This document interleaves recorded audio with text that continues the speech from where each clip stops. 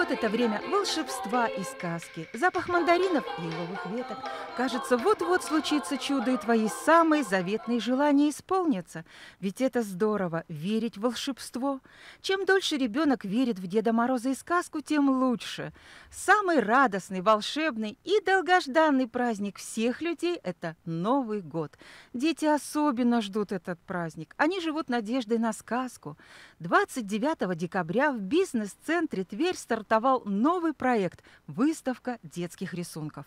На этот раз тема была «Новогодний герой». Я нарисовала котенка, он сидит под елочкой вместе с бабочкой. Я подавала работу на тему «Морозко». Там вообще был представлен собирательный образ как раз-таки зимы и новогоднего героя Морозки. Какой ты рисовал рисунок? Любовь с холодком. А почему именно этот рисунок решила нарисовать? Потому что он сказочный и красивый. Медведя валежники. А почему именно этот рисунок вот решила нарисовать?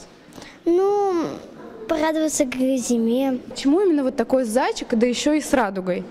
Ну, он издает суперсилу, такое излучение, то что радуга появляется. Выставке предшествовал конкурс, который судила авторитетное жюри. Председателем жюри выступила народная художница России Юга Людмила Георгиевна, которая по достоинству оценила детское творчество. Дети – это маленькие люди, которые рисуют то, что видят, без политических каких-то нюансов. И то, ту коллекцию работ, что я увидела, что было мне представлено, это рисунки добрые, радостные, хотя и зимние, но солнечные. Участвовать в конкурсе могли все желающие, независимо от специальной подготовки.